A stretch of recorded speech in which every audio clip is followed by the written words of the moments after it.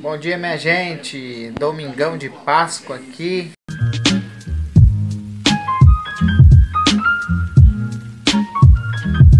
Graças a Deus, olha aqui, ó. O povo tá todo aí, deu pra focar, o Mica. Deu pra focar, e a Kera, tá lá a Kera. Estamos todos em casa aqui, trancafiados dentro de casa, gente. Que coisa boa, né?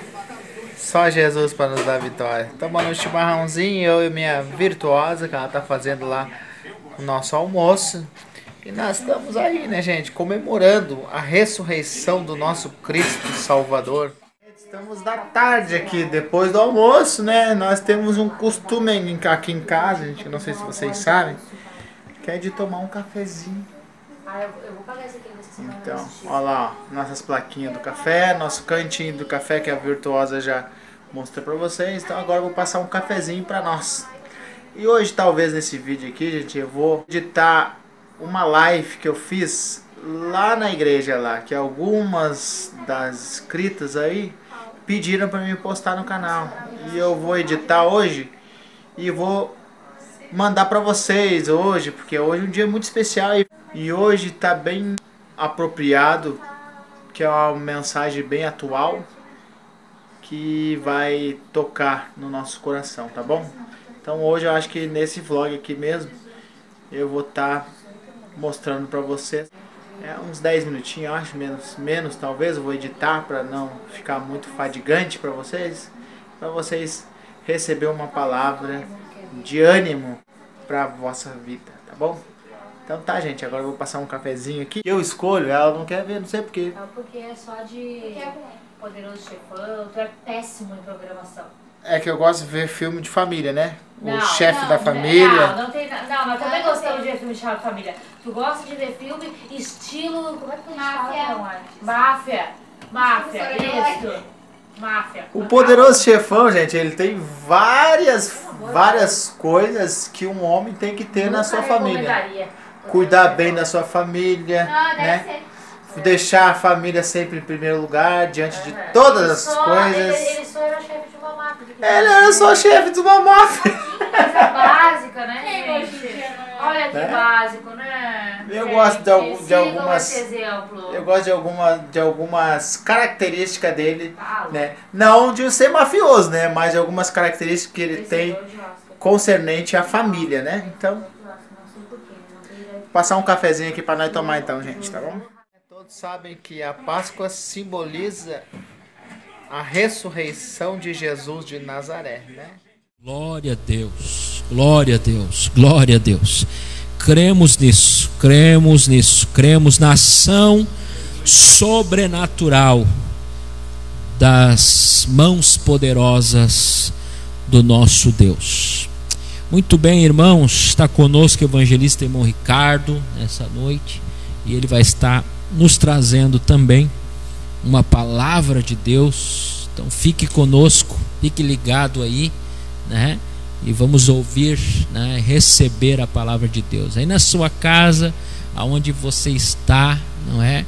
É, no conforto do seu lar, você está aí no seu lar, na sua casa, quem sabe sentado no sofá, é, é, é, com sua família. Então, é, fique atento, ouça a palavra de Deus e seja abençoado.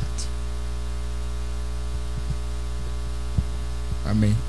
Glória a Deus. Meus irmãos, eu quero primeiramente agradecer a Deus, nosso pastor, Tiago Vargas, nossos irmãos que estão juntamente aqui conosco, apoiando essa grande obra aqui, os makers aí do som. Glória a Deus por tudo. Meus irmãos, eu quero compartilhar uma palavra do Senhor nosso Deus. Não quero demorar muito tempo, mas tem uma palavra de Deus pra, para o meu e para o teu coração. Então abra a tua Bíblia aí comigo no Evangelho de Jesus, segundo escreveu Lucas, no capítulo de número 8. Bastantes lições espirituais. Capítulo de número 8 e o versículo de número 22 em diante, que diz assim a preciosa: E aconteceu que num daqueles dias entrou num barco com seus discípulos e disse-lhes: Passemos para outra banda do lago. E partiram. Amados irmãos, ouvintes, estão nos ouvindo aqui nessa oportunidade. Nós conhecemos muito bem esse texto e todos conhecem. É um texto que é bem familiar para todos os irmãos, aqueles que amam a palavra do Senhor, aqueles que não amam a palavra do Senhor, aqueles que leem, aqueles que não leem. Todos já ouviram falar da grande tempestade de vento, mas o que me chama bem bastante atenção nesse texto aqui é o começo dele ali. Quando nós vamos ler o texto escrito por Marcos, ele vai dizer assim: e naquele dia. O Lucas, mais detalhista, ele vai dizer: num daqueles dias. Quando nós lemos Marcos e ele diz e naquele dia, nós percebemos que ele quer que nós observamos, observemos o que, que aconteceu naquele dia. Por isso que ele diz: e naquele dia Jesus entrou no barco. Agora o Lucas, o médico amado, ele é tão detalhista que ele vai narrar um dos maiores milagres que Jesus fez à vista deles, e ele vai dizer: num daqueles dias. Eles já tinham visto Jesus curar cego, eles já tinham visto que Jesus era soberano, que tinha uma palavra edificante, mas agora muda a situação. E ele vai narrar esse grande milagre, mas vai dizer: num daqueles dias, ou seja, num dia normal, num dia qualquer, não tem anúncio, não tem Facebook, não tem plateia, não tem nada assim que possa exaltar aquele dia. Ele vai dizer: num daqueles dias. O que que tu quer dizer, pregador? Jesus, ele não trabalha com hora marcada. Jesus não, não marca um horário para operar. Até porque o evangelista vai dizer: num daqueles dias, num daqueles dias, irmãos, é um dia normal, é um dia qualquer. Pode ser pela live, pode ser pela palavra da live que está sendo dita hoje. Deus pode operar um milagre na tua vida. Deus pode falar com você através dessa mídia aí que você está vendo. Não precisa até dentro do templo, não precisa propaganda, não precisa outdoor, porque quando Jesus quer operar, não existe barreira que possa impedir dele te alcançar, no nome de Jesus. Glória a Deus. Dia normal, num dia qualquer, Jesus manda que os seus discípulos entrem no barco e atravessem.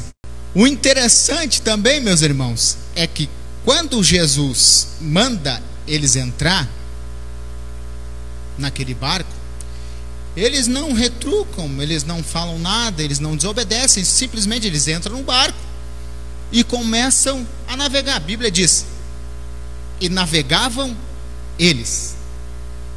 Quando eles começaram a navegar, soprou um forte vento. A Bíblia não diz que era uma tempestade de chuva, não diz que tinha trovão. A Bíblia diz que era uma tempestade de vento. O vento soprou, pastor. O vento soprou e começou a sussurrar. O barco começou a se mover de uma maneira que eles ficavam, ficaram apavorados, esquecendo daquilo que Jesus tinha dito no princípio. Porque no princípio Jesus disse: entra no barco porque nós vamos passar. Ele estava dizendo: não importa o que vai acontecer, do outro lado nós vamos chegar. Não importa se o vento vai soprar, não importa se o, o mar vai se agitar, mas do outro lado nós vamos passar. Eles se esqueceram daquilo que Jesus falou lá no princípio. O que vai prevalecer na minha e na tua, eu quero aplicar já aqui, pastor, para nós, para a edificação da nossa vida. Porque nesses tempos difíceis, irmãos, o que vai prevalecer na minha, na tua e na, na vida de quem está nos ouvindo, meu pastor, meus pastores, não é a tempestade, não é as circunstâncias adversas que aconteceu no meio da trajetória, mas o que, que Jesus falou lá no princípio. O que, que ele falou? Você vai passar. Eu, eu entendo, meus irmãos queridos, amados, que o vento está soprando, as coisas estão difíceis, estão de mal a pior, mas o que Jesus prometeu lá atrás? O que, que Jesus prometeu lá no início da tua trajetória? O que, que Jesus prometeu lá no comecinho, lá quando tu começou? O que, que ele disse? Você vai passar por aflições, mas vai conseguir passar. No mundo tereis aflições, mas tem de bom ânimo, porque eu venci o mundo. Jesus está dizendo nessa noite: o que vai prevalecer na tua vida não são as intempéries, não são as dificuldades do meio da trajetória, mas o que Jesus falou lá atrás. O problema é que muitas vezes nós, e muitas vezes muita gente, não entende o que Jesus falou lá atrás esquecem, os discípulos aqui, pastor, eles esqueceram o que Jesus falou. Jesus falou, foi enfático em dizer. Estava dizendo, não importa o que vai acontecer, nós vamos passar para o lado de lá. E os discípulos esqueceram o que Jesus falou. Porque se eles não tivessem esquecido, eles não iam se apavorar. A, a tempestade diária ia chegar, tudo ia se mover, mas eles iam ficar tranquilos. A mesma coisa que Jesus estava. Jesus estava tranquilo. Por quê? Porque ele já tinha dito lá atrás. Mas tem gente que quer ouvir toda a vida Jesus dizer. Jesus não é papagaio para estar tá repetindo toda hora. Né? Ele já disse para nós: nós vamos passar. A dificuldade vai, vai bater na tua, na tua porta, o barco vai, vai se movimentar, mas você vai passar. Essa é a fé no Cristo Todo-Poderoso. a fé que move a nossa, a nossa trajetória. Porque a nossa trajetória, meus irmãos, ela vai passar por diversas fases. No começo é mil maravilha, no, no meio da trajetória começa as intempéries. Se nós for pensar como os discípulos ali, que esqueceram o que Jesus prometera lá atrás, a dificuldade chegou até na minha casa, com certeza chegou na tua casa, mas eu creio no Cristo vivo que me prometeu lá atrás. Ele disse: ó, Ricardo, tu vai passar. E se tu vai passar, irmão? Você vai passar, meu irmão. A dificuldade vai chegar, mas você vai passar no nome de Jesus. A Bíblia vai dizer que no meio da trajetória eles começaram a se apavorar ali, irmãos. E Jesus se levanta. Já que vocês se esqueceram, quem sabe Jesus pensando ali, né? Na verdade, Jesus estava descansando, meus irmãos. Por quê? Porque ele já tinha vindo lá de um grande trabalho que ele estava fazendo. Se nós for ver no livro de Marcos, ele tinha ensinado, instruído Antes, antes dele mandar os discípulos entrar no barco, ele tinha ensinado a parábola do, do grão de mostarda. Ele tinha ensinado uma série de parábolas ali até chegar ali. Então, Jesus ele estava cansado, ele foi descansar. Ele deu a ordem e foi descansar. Por quê? Porque a palavra de Jesus é uma só. Ele disse: passemos. Eu vou deitar e vou descansar, porque a minha palavra é que basta. Nós vamos passar. Daí chega no meio da trajetória, eles se apavoram. Jesus pensa: não, eles não acreditaram no que eu falei. Se levanta, não, só um pouquinho. Já que vocês têm pouca fé, vento, cessa-te. e mar, acalma-te. Quando Jesus falou, irmão, o vento cessou e o mar parou. Qual é a diferença aqui, irmão? A diferença é quando ele fala. A fisionomia de Jesus é a mesma nossa. Mas se o pastor Tiago chamasse ele aqui, ô, oh, vem cá, vem cá dar uma saudação. Quando ele falasse, nós ia ver ele. Lembra dos, dos soldados? Mandaram buscar Jesus. E os soldados foram afoitos para buscar Jesus. E quando eles chegaram, Jesus estava falando, Jesus estava pregando. E daí eles olharam, não, mas não, não dá para pegar esse homem. Daí eles voltaram sem Jesus nas mãos, mas com Jesus no coração. Porque chegaram no governador e disseram assim: Olha, e aí, cadê, o, cadê Jesus? Não trouxeram Jesus? Não, não teve. Vamos trazer aquele homem. Por quê? Porque ninguém fala como aquele homem fala. Jesus, quando Jesus fala, a terra treme, o mar se acalma. Quando Jesus fala, não tem inimigo que possa ficar na frente do crente. Quando Jesus fala, o mar tem que se acalmar, o vento cessa. Quando Jesus fala, irmão, ninguém pode com o poder da sua voz. Jesus falou. Jesus falou, cessou, o vento cessou, o mar se acalmou e criou uma bonança. O que, que, quer dizer essa palavra, irmão? Quero dizer que a tempestade vai chegar, o vento vai soprar, mas eu quero profetizar na tua vida e na vida dos irmãos aqui na igreja nessa noite. O vento pode até estar ao, ao contrário, as dificuldades estão grandes, mas eu profetizo: o vento vai começar a soprar a nosso favor. O Senhor, nosso Deus, Ele é fiel para cumprir. O nosso presidente já começou, com, já começou bem. Um grande clamor e jejum, porque percebeu, irmão, ele se rendeu aos pés. Quando o Jairo percebeu que não tinha mais jeito, que a filha estava lá quase morta, o que, que ele fez? Ele reconhece e se joga aos pés de Jesus e diz assim: Eu não posso, Jesus, mas tu pode. Eu não consigo, mas tu consegue. Eu não tenho poder, mas tu tem. Que só o Senhor pode. Aleluia. A Bíblia vai dizer que o mar que estava revolto e o vento que estava soprando forte se acalma. Se acalma. Qual é a palavra? Se acalma, irmão. Calma. Calma. Tem gente que está doida aí. Calma. Nós temos um Deus. Nós temos que nos acalmar. Mas irmão, a coisa está terrível. O vírus está tomando conta. Está morrendo gente. Calma. Calma. Nós estamos protegidos pelo sangue de Jesus de Nazaré. Nós temos que ter todos os cuidados, irmãos. Eu não sou nenhum ignorante, não, para dizer que, né, pastor? Nós não somos ignorantes para dizer que não vai pegar, não vai chegar aqui em Gravataí ou nos irmãos da igreja, mas nós temos que ter convicção, irmão, que na nossa porta, nós já botamos lá na nossa porta, lá com o isopo, lá, pode-se dizer que é uma, uma esponja. Nós, como nós aceitamos Jesus, nós pegamos a esponja, irmão, e botamos na, na verga da nossa porta, assim, ó, o sangue de Jesus de Nazaré. O sangue está na verga da minha porta, irmão. O sangue está na verga da tua porta, pastor. Mal nenhum vai acontecer, por quê? Porque nós cremos num Deus Todo-Poderoso. Claro que nós vamos cuidar, nós vamos passar o em gel, nós vamos cuidar. Mas, irmãos, nós temos que ter convicção que Jesus, Ele está pelejando por nós. A minha esposa está grávida, irmãos. Os meus, meus pais estão velhinhos. Os meus sogros são velhinhos.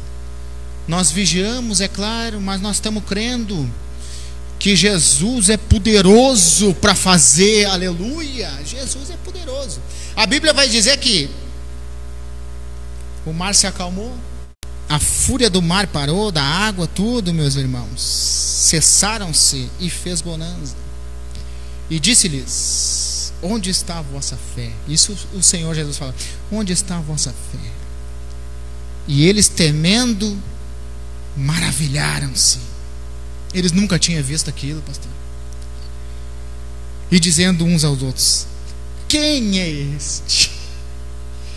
Quem é este que até os ventos e a água manda e lhe obedecem? Quem é este? Nós percebemos aqui o que, meus irmãos? Que eles se surpreenderam com o que Jesus fez. Eles nunca haviam visto aquilo ali. Eles se surpreendem e, diz, e dizem um para os outros: Quem é este que o vento manda cessar? Eles se surpreenderam com o que Jesus fez. Ei, eu quero profetizar na tua vida. Você vai se surpreender com o que Jesus tem para a tua vida. Eita, Irmãos, vocês vão se surpreender com o que Jesus vai fazer após isso que está acontecendo no meio do povo de Deus. Irmãos, eu quero dizer para você que quem ficar de pé vai ver muito mais que você sente hoje. Eu profetizo aqui e creio e vendo com os olhos da fé que todos aqueles que não aceitaram Jesus ainda vão se surpreender com o que Deus vai fazer com essa situação e vai acabar aceitando Jesus como seu Salvador. Muitos crentes que estão desviados vão se surpreender e vão voltar correndo para os braços do Senhor. Por quê? Porque vão se surpreender, porque Deus, irmão, ele é fiel para cumprir e o que ele prometeu, ele vai cumprir. Nós vamos passar. Eu não entendi ainda, pregador. Nós vamos passar essa dificuldade, irmão. Tá difícil, tá, mas nós vamos passar. Porque aquele que prometeu, ele é fiel para cumprir. As aflições estão tá aí, mas nós vamos passar. A dificuldade está aí, mas nós vamos passar. O coronavírus está aí, mas nós vamos passar. O vírus está aí, talvez batendo até na porta da tua casa, mas você vai passar. Por quê? Porque Jesus ele prometeu que nós vamos passar e vamos cantar o hino da vitória, como, quando, como o pastor estava falando no, no, início do culto, e nós vamos contar o hino da vitória quando nós atravessar essa fase no nome de Jesus. Amém, meus irmãos? E eu deixo essas palavras aqui, uma palavra profética, meus irmãos, da parte de Deus. Coloque dentro do teu coração. O que vai prevalecer na minha e na tua vida, coloque isso no teu coração aí.